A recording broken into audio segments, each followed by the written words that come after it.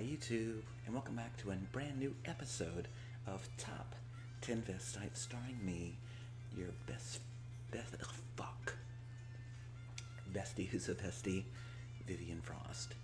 Coming at you tonight with another Top 10 Vestite list. This time, this one is my personal favorite comic book movies that aren't Marvel or DC.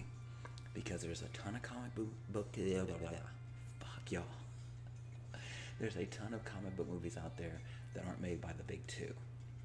And some of the best ones, in my opinion. So, that being said, don't forget, like, subscribe, leave me a comment, all that kind of fun shit. And then this little box, it's weird because it's dead on Twitch tonight for me, but it's popping on fucking Reddit, on the cross dressing Reddit. So join me over there. Same name. You'll, you'll, fuck. You'll know me. You'll, you'll recognize me, I should say. Anyway, on with this show. Commence le festival. Uh, my number 10, non Marvel DC comic book movie, 30 Days of Night. Because I'm a show for a vampire movie, especially one that's really got a clever twist to it or hook to it. 30, the titular, titular 30 Days of Night. It's pretty much up in Alaska, so they get 30 days of day, 30 days of night. So 30 days that the vampires can be out, which is a really, really fucking cool premise, period. And it was a comic first, but it wanted, to, if I remember correctly, it wanted to be a movie, or they wanted it to be a movie. They couldn't sell it, so then they did the graphic novel, which became a big hit. And from there, they made the movie. So that's why the comic exists. but nevertheless, it is still a non-Marvel or DC comic book movie, and can go on my fucking countdown. So yeah, number ten, number nine, one of the best damn movies ever made. Wink, wink. Uh, but Vivian, this isn't a comic movie. Shh, shh, shh. It is. Wikipedia. I didn't know either until I was looking up comic book movies, and I fucking love Timecop.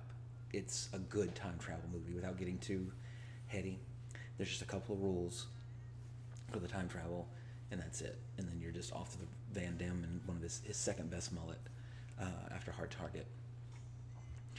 Uh, but yeah, Timecop is a comic book movie and it is in fucking incredible. So, an oft, oft not mentioned Van Damme classic and a great piece of late 90s cheese. Mid 90s, actually, I don't know. Uh, number eight, Hellboy. Not the David Harbour one that came out recently, but the OG Ron Perlman, Guillermo del Toro, Hellboy, and the sequel too. Both fucking fantastic. Del Toro, in my eyes, has done no wrong, so I'm a little bit of a shell for him, but nevertheless, Ron Perlman, Selma Blair, uh, fuck, I forgot his name. Oh well, doesn't matter. He's in the movie. The thin guy that's in everything. Fuck y'all, I can see his Doug Jones. Doug fucking Jones. There you go. I work for Doug Jones. Doug Jones. That's a deep 80s movie reference. If you get it, you get friend points. Um, let's see, that was number eight. Number seven, Atomic Blonde, or Jane Wick, as I assume that's what a lot of people probably low hanging fruit. Uh, but just as fucking good as any of the John Wicks, in my opinion. But instead of Keanu, we get the absolutely statuesque, beautiful, incredibly talented Angelina Jolie. I'm just kidding. Charlize Theron. Uh, yeah, but and then James McAvoy on top of it, and then the whole '80s CD aesthetic. Fucking brilliant, mate. Mwah. Absolutely love the movie. It's based on a. The graphic novel isn't called Atomic Blonde. It's called like The Coldest City or something like that. Uh, like a black and white Walking Dead esque in terms of the art style comic. I haven't read it, but based on a comic movie, fucking counts. Charlize is on this list. Number six. If you got Netflix, you can watch this one like right after you get done watching this uh, for the fifth time and leaving comments and saying flattering things about me. Uh, uh, Polar with Mads Mikkelsen, Mikkelsen, how do you pronounce his name? Uh, Vanessa Hudgens, was that who it is? Yeah. She's in it. And then I forget her name, but she's from Vikings. She plays a character aptly named Vivian with impeccable fashion sense, which is what made me pay attention to the movie at first. But it's really fucking good. It's bloody. It's like uh, the Clive Owen film Shoot 'Em Up. it's an over the top action movie. Like uh, was the the Big Hit? There's another one recently. Had like Alicia Keys in it. Something I forget the name of it. Uh, whoops. Uh, Captain Wrecked. I was not born as a woman.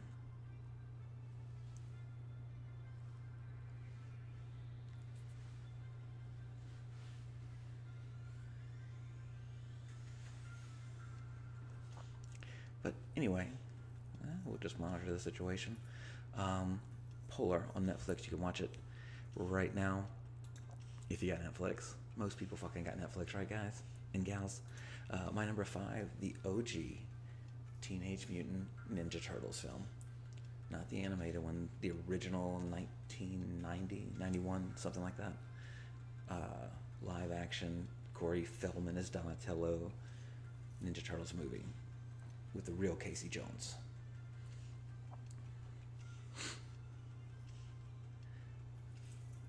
Good night, Rack.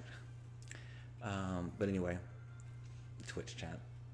It's kind of a toxic environment, but it's interesting to see what pops up on the old window there. Anyway, uh, yeah, the OG Ninja Turtles movie, still fucking good. It's dark.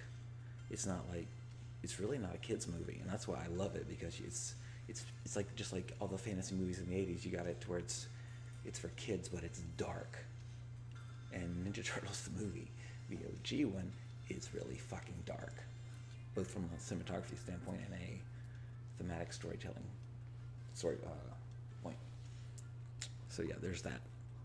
So yeah, and that was number five. Number four, Mystery Men. In my opinion, one of the not only one of the best superhero movies, but also one of the funniest fucking movies that's ever been made. Ben Stiller, Hank Azaria, Wes Studi, uh, Garofalo, Laverne Hader, Paul Reubens, uh, William H Macy. It's fucking fantastic. It's better than Justice League. You know, it's better than the first two Avengers movies. Yeah, I fucking said it. Um, it's just really fucking funny. Uh, it's one of those movies. Every time you watch it, you kind of pick up a different joke, either something visual, audio, you know, or something in the background, that kind of thing. But if you haven't seen Mystery Men, get in a mindset kind of like I am right now, and give it a watch. It's fucking great. I fucking promise. You just got to get into it. And because superhero movies are a dime a fucking dozen now, everybody's fucking into it. So I'm surprised this one. I'm sure it's like a cult movie anyway. Like they probably had a cult following, I'm sure, but like a big one. I think it's a secret big one. It's a mystery cult. Yeah. Too many of those in town. That was number four. Number three, Kingsman. Uh, now, the first one, most people like that one better. I personally like the second one because of the Elton John fight scene. Spoiler alert.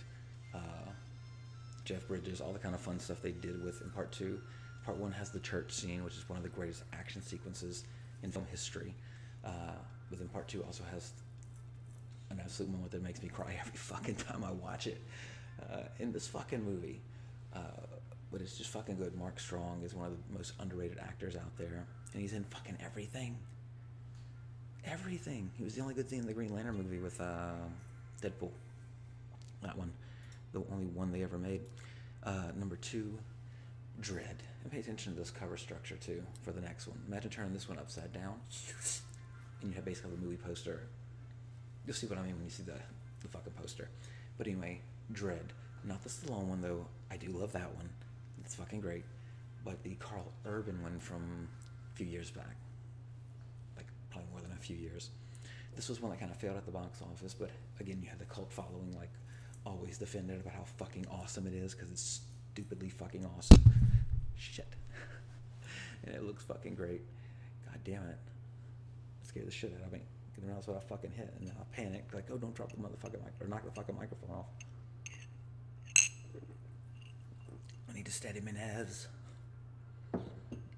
Yeah, but anyway, I even like clicked the damn thing off. Shit, yo, God, I'm fucking stoned.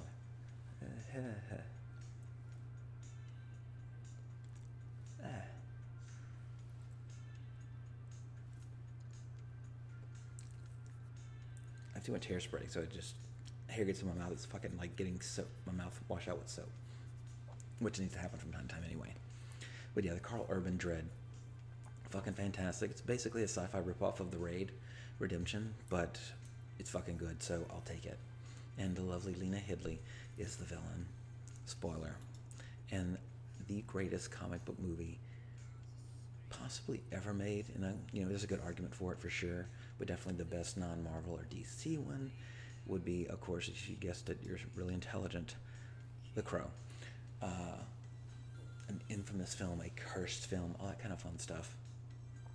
Uh, but it's it's a masterpiece that holds up. It's really fucking good. It's still fucking good, and then all the backstory behind it makes it even fucking better. You know, so it's just, and it's the soundtrack's still one of the best ones that ever come out of a film to this day, in my fucking opinion. So, well, thank you, Fez Billy, on Twitch. Um, but yeah, so my personal pick, literally, this one was pretty. In most of these, pretty much every one of these videos I've done has never technically been in a ten to one order, because I always make caveats. But this one was pretty much was, yeah, I could see with that that this countdown I can completely justify.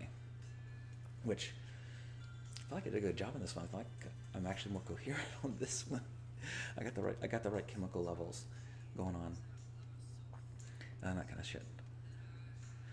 But anyway, so yeah, that's my number. That's my top ten for this week.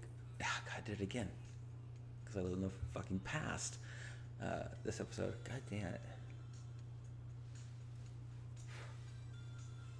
The hairspray is weakening.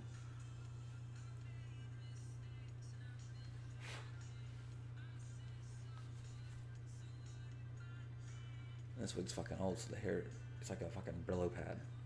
Each hair. Like a column swinging in front of my face. Anyway, so yeah, share the like, subscribe things popping up any time now. So, bye bye YouTube. See you on the next episode uh, where I'll be doing something equally stupid as I'm doing right now. So, but until then, I will the sex time. It's your bestie who's a bestie, Vivian Frost, saying, stay frosty.